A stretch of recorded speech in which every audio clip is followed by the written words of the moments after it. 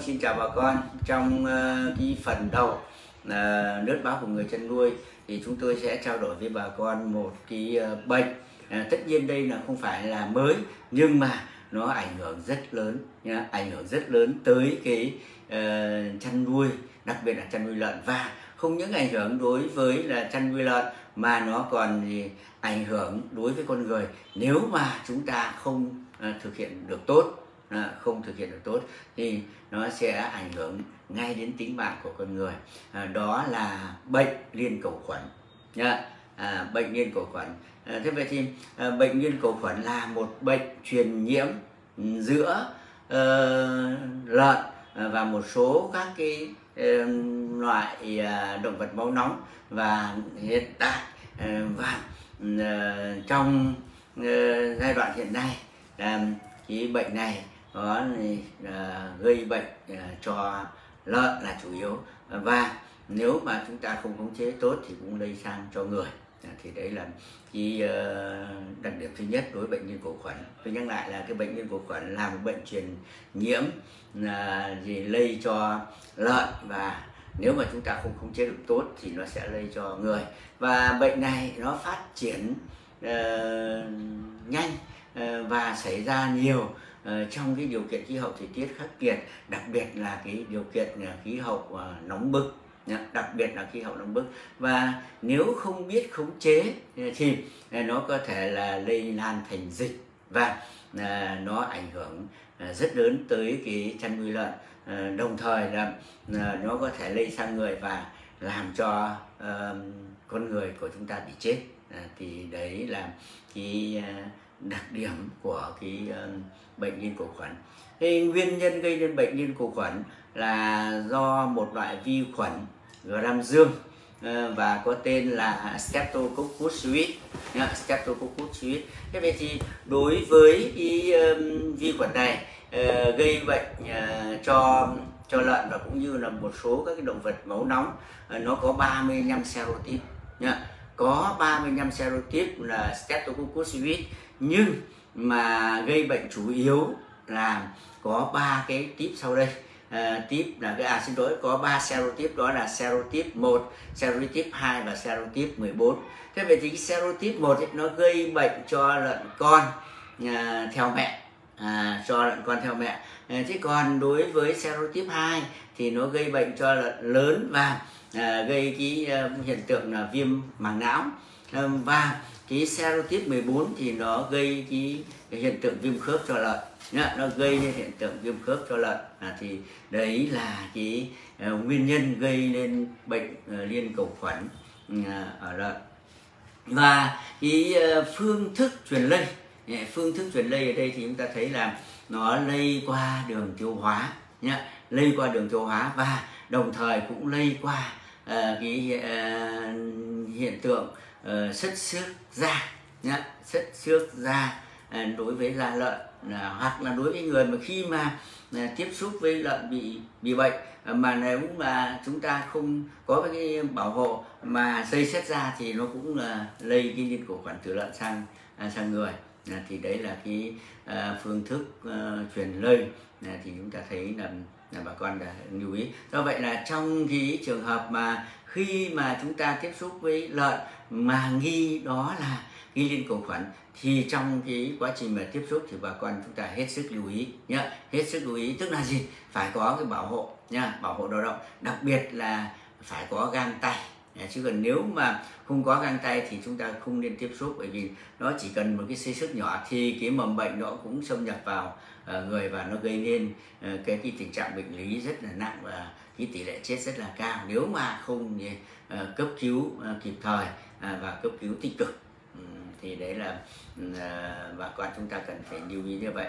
À, về triệu chứng nha. Về triệu chứng của ờ, cái bệnh nhân cầu khuẩn ờ, thì cái triệu chứng của nó tùy thuộc vào các cái độ tuổi. Nó tùy thuộc vào cái độ tuổi của lợn mà nó có các cái triệu chứng ờ, triệu chứng khác nhau. À, ví dụ là ở cái lợn con đang theo mẹ từ 1 đến 10 ngày tuổi. À, thì trong trường hợp này thì chúng ta thấy là uh, lợn con có hiện tượng sốt này lông xù và đặc biệt là có hiện tượng viêm khớp. Và khi có hiện tượng viêm khớp thì lợn con thường có cái hiện tượng què hoặc thậm chí có hiện tượng là bị liệt. À, thì đấy là đối với cái uh, lợn con đang thầu mẹ à, chứ còn thì đối với lợn uh, sau cai sữa đặc biệt là sau cai sữa từ ờ, uh, 10 đến 15 ngày à, thì cái biểu hiện là đối với loại lợn này là khi mà lợn bị bệnh thì có các cái biểu hiện có các cái biểu hiện là xáo trộn đàn à, và đặc biệt là có hiện tượng là, là sốt cao à, và có triệu chứng thần kinh. Ví dụ như là nghênh mặt rồi à, đi theo kiểu bơi trèo và trong cái trường hợp là này thì một số các cái bà con chăn nuôi hoặc là cũng có thể là một số cái cán bộ chuyên môn lại nghi lẫn sang cái bệnh phù đầu xương mặt yeah, nghi lẫn sang cái bệnh phù độc xương mặt thì đấy là cái uh, thứ hai um, là cái loại lợn uh, sau kê sữa từ 10 đến 15 15 ngày. Uh, và cái uh, thứ ba nha và cái nhóm lợn thứ ba đó là nhóm uh, nái nha đó là nhóm nái. Thì đối với nhóm lợn, lợn nái thì thường có các cái biểu hiện là viêm đường sinh dục viêm đường sinh dục và đặc biệt là có cái hiện tượng xảy thai. Thế vậy thì trong trường hợp này thì nhiều trường hợp mà con chúng ta lại không để ý tới là cái hiện tượng mà viêm đường sinh dục hoặc là uh, trong trường hợp mà uh, xảy thai thì có thể lại cho rằng đấy là uh, do xoắn khuẩn hoặc cũng có thể đấy là uh, do parvovirus cho nên là cái hiệu quả điều trị nó không nó không cao. Thì đấy là cái uh, triệu chứng.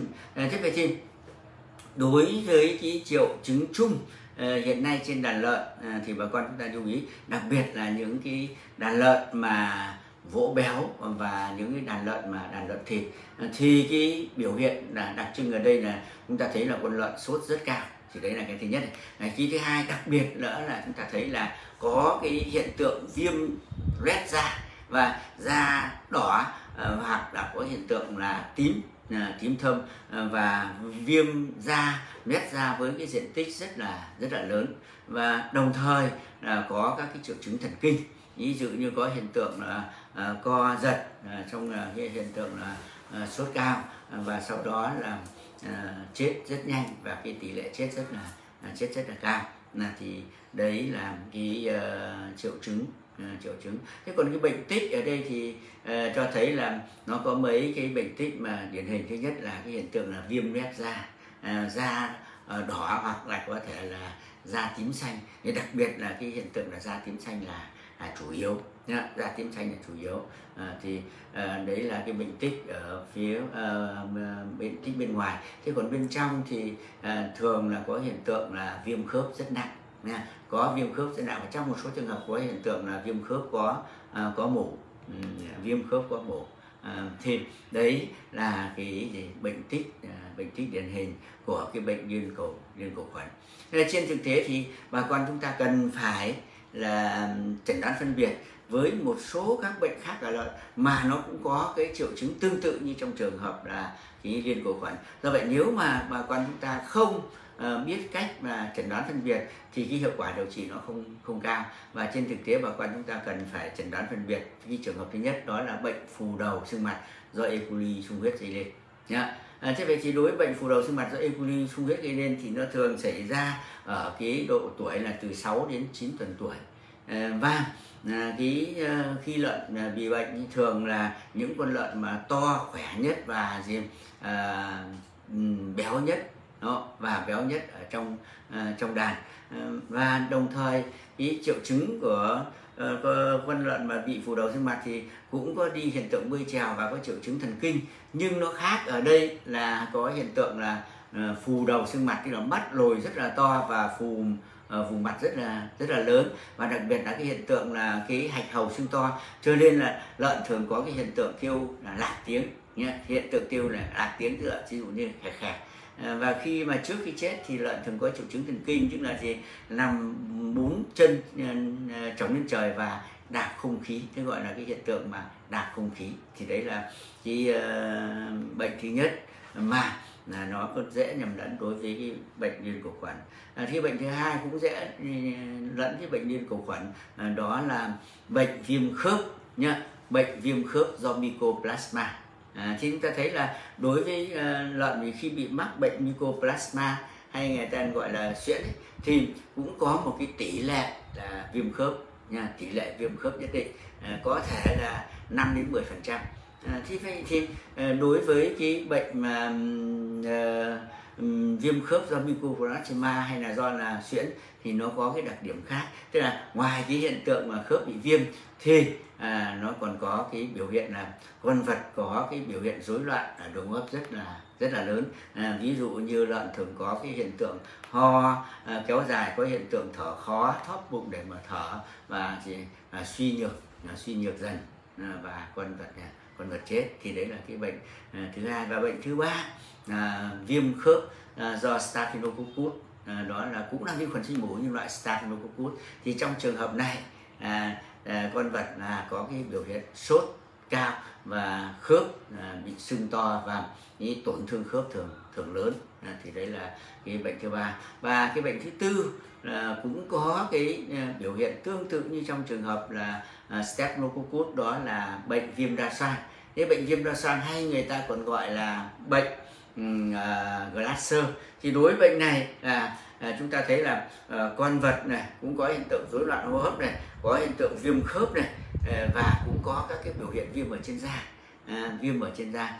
À, nhưng à, trong trường hợp này thì chúng ta thấy là nó biểu hiện là Ờ, cái triệu chứng ờ, triệu chứng ờ, hỗn hợp. Ví dụ như là con vật cũng có hiện tượng là rối loạn hô hấp thở khó này khó cũng để thở này. Đồng thời là cũng có hiện tượng là viêm ở trên da này và đồng thời cũng có hiện tượng là con vật bị què và bị viêm khớp.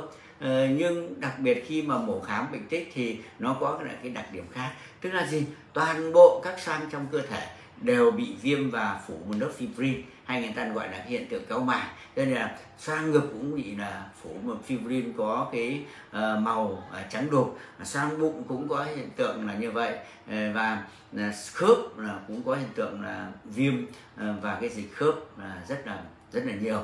Là thì đấy là trên thực tế thì bà con chúng ta cần phải chẩn đoán phân biệt với một số các cái bệnh mà nó cũng có cái triệu chứng lâm sàng tương tự như trong trường hợp là, là Staphylococcus. À, thế vậy thì để mà à, phòng đối với bệnh này thì bà con chúng ta phải thực hiện đây là một cái cái chung à, cái thực hiện thứ nhất là chúng ta thấy là khi mà mua giống thì chúng ta phải gì? Là chọn uh, những uh, trung tâm cung cấp giống là, là tiêu chuẩn. Đó à, tiêu chuẩn. À, và cái đàn giống đó đã được à, tiêm phòng. À, đàn mẹ đó à, mẹ đó à, những con nái đó đã được tiêm phòng. À, cái thứ hai là uh, phải rõ nguồn gốc phải tìm con giống rõ nguồn gốc. À, và thứ ba nữa là thì trong quá trình uh, chăn nuôi phải xử lý cái môi trường chăn nuôi cho tốt tức là phải vệ sinh chuồng nuôi và sau đó dùng thuốc sát trùng để tẩy uế chuồng nuôi. À, và đồng thời phải là có cái biện pháp là bổ sung các cái thuốc hoặc là các cái thức ăn mà có tác dụng đặc biệt là cái chế phẩm sinh học để nâng cao cái sức đề kháng cho à, con vật. À, và cái quan trọng nhất là cái khâu thứ ba là phải gì? Sử dụng vaccine để tác động à, đối với gì? À, đối với à, đối với con vật. À, thì à, bằng các cái biện pháp như vậy thì chúng ta sẽ khống chế được cái à, hiện tượng là staphylococcus hay là à, liên cầu khuẩn à, thế vậy thì khi mà con lợn bị mắc bệnh à, thì bà con chúng ta xử lý như thế nào? À, cái thứ nhất là cái khâu mà Ừ, thứ nhất là phải cải thiện lại cái môi trường chăn nuôi hoặc là cải thiện cái môi trường chăn nuôi đây là gì? Là phải để thay chất đồn chuồng này, dọn chất đồn chuồng này. Trong quá trình chăn nuôi là phải là uh, chuồng nuôi phải uh, sạch sẽ khô ráo và đặc biệt là phải dùng thuốc sát trùng để tẩy cái uh, chuồng nuôi cũng như tại cái môi trường xung quanh. À, và cái quan trọng thứ hai nữa là phải tách lợn bệnh nha tách lợn bệnh ra khỏi đàn nhớ là tách lợn bệnh ra khỏi đàn thế vậy thì cái việc tách lợn bệnh ra khỏi đàn ở đây nó có mấy cái mục đích? Thứ nhất là là hạn chế cái hiện tượng lây lan ở trong đàn nếu bà con chúng ta chăn nuôi với số lượng lớn. Và thứ hai là dễ theo dõi và thứ ba là gì? À, dễ điều trị. Và chính vì vậy mà cái hiệu quả điều trị nó sẽ cao và hạn chế được cái hiện tượng lây lan bệnh ở trong À, trong đài. Là thì đấy là cái bước thứ nhất mà con chúng ta cần phải tiến à, cần phải tiến hành. Và à, cái bước thứ hai à, chúng ta cần chú ý à, dùng thuốc điều trị. Thế vậy khi dùng thuốc điều trị ở đây thì chúng ta cũng phải dùng là ba loại thuốc. Loại thuốc thứ nhất là kháng sinh đặc trị đối với cái bệnh nhân vô khuẩn. Thế vậy cái kháng sinh đặc trị đối với bệnh nhân vô khuẩn thì nó có rất nhiều các loại kháng sinh. Ví dụ như là amoxicillin à, ví dụ như là gentamicin kết hợp với uh, streptomycin hoặc là gentamicin kết hợp với à, uh, làm um, penicillin nha à, hoặc có thể là dùng là uh, penstep à, hoặc có thể là sử dụng cái, cái septifur à, thì đấy là những loại thuốc mà có tác dụng là đặc trị đối với cái uh, vi khuẩn streptococcus hay là đối với bệnh nhân cầu khuẩn. À, thì đấy. À, thế thì uh, nếu mà chăn nuôi với số lượng lớn và cái tổng đàn lớn thì trong trường hợp này là người ta thường dùng thuốc để người ta trộn. Đó dùng thuốc để người ta trộn vào khẩu phần thức ăn. Thì cái thuốc để mà trộn vào khẩu phần thức ăn thì người ta thường sử dụng uh, là a mốc đó a mốc trộn vào khẩu phần trộn vào khẩu phần thức ăn uh, hàng ngày và trộn vào cho ăn buổi sáng. Còn buổi chiều thì sử dụng tetracycline hoặc có thể là dùng thiamulin nhá. Thiamulin à, để trộn vào khẩu phần thức ăn thì đây là ý là, là kháng sinh. À, như vậy đây xử lý cho cá thể thì là dùng cái thuốc điều trị để mà tiêm. Ví dụ như là a mốc NA hoặc có thể là dùng gentamicin kết hợp với streptomycin hoặc là lancosin kết hợp với uh, gentamicin hoặc là dùng septifur vân vân. Ờ, đặc biệt là những thuốc mà có tác dụng để nâng cao sức đề kháng và bồi bổ cơ thể. Thì cái thuốc có tác dụng nâng cao sức đề kháng ở đây là vitamin C, kết hợp với B1 và kết hợp với caffeine. Tiêm bắp có thể là ngày hai lần, tùy theo. Đó. dùng catosan hoặc là satosan tiêm bắp ngày một lần. Ờ, và đặc biệt là phải dùng thuốc để tăng cường cái lợi tiểu và sát trùng đường niệu là bà con chúng ta cần phải dùng urotropin nhá urotropin để tiêm cho cho lợn thì đồng thời với việc mà sử dụng urotropin tiêm để tăng cường lợi tiểu và sát trùng đường niệu thì bà con chúng ta cũng sử dụng là à, vitamin ADE kết hợp với là uh, vitamin tổng hợp và đặc biệt là thuốc giải độc cẩn thận. Thì thuốc giải độc cẩn thận ở đây là có thể là boganic boganic hoặc có thể là borentic tất cả các thuốc đó là hòa với nước sạch cho uống tự do à, tự do hàng ngày.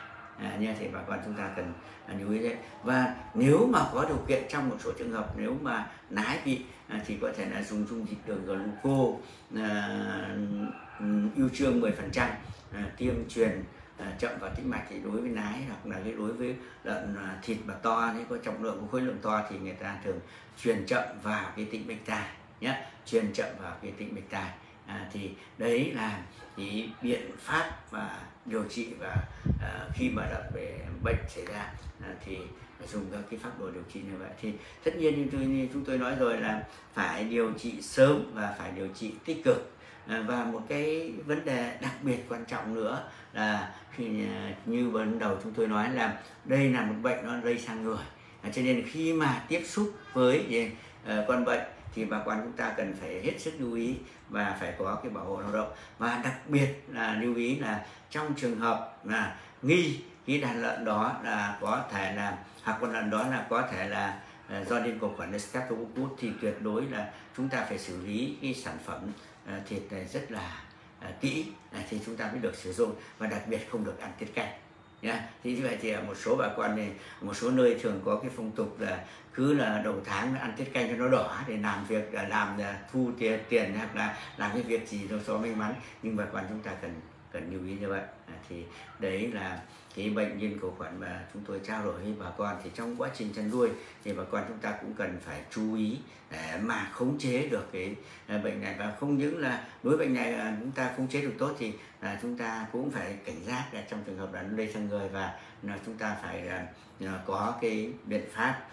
để mà đề phòng và hạn chế cái việc mà lây sang người mà gây nên cái hiện tượng là tử vong đối với đối với người à, thì đấy là cái phần à, thứ nhất mà chúng tôi trao đổi với bà con.